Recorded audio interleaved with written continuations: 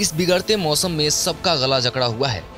जी हाँ अगर मार्च के मौसम की बात करें तो कभी सर्दी, कभी गर्मी जैसे मौसम का प्रकोप बढ़ता ही जा रहा है।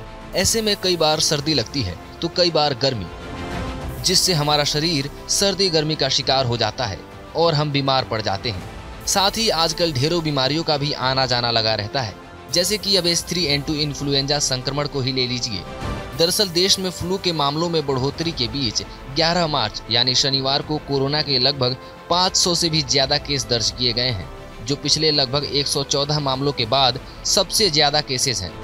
और अब इसमें एक नया संक्रमण पाया गया है, जिसका नाम है H three N two influenza संक्रमण। दरअसल ये एक ऐसा संक्रमण है, जो H three N two influenza संक्रमित व्यक्ति से आसानी से फैल सकता है। साथ ही हवा का सीधा संपर्क या एक सरफेस के ज़रिए संक्रमित बूंदों का ट्रांसफ़र होना भी इसे एक व्यक्ति से दूसरे व्यक्ति में स्थानांतरित कर सकता है। एक्सपर्ट्स ने इस संक्रमण के इलाज के लिए एंटीबायोटिक दवाओं के इस्तेमाल के खिलाफ चेतावनी भी दी है।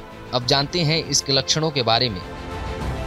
एच थ्री एन टू संक्रमण के लक्षण मौसमी फ्लू वायरस के समान होते हैं। और इसमें बुखार और खांसी, सांस की तकलीफ़, सीने में दर्द और हीमोपटाइसिस यानी बलगम में खून आना और अन्य लक्षण जैसे शरीर में दर्द, उल्टी और मोशन भी शामिल है।